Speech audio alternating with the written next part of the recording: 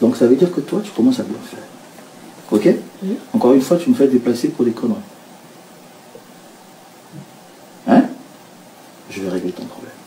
Ok Je veux bien te bastonner. Comme ça, tu vas comprendre. Parce que quand on te parle, il me semble que tu comprends pas. Tu as du mal.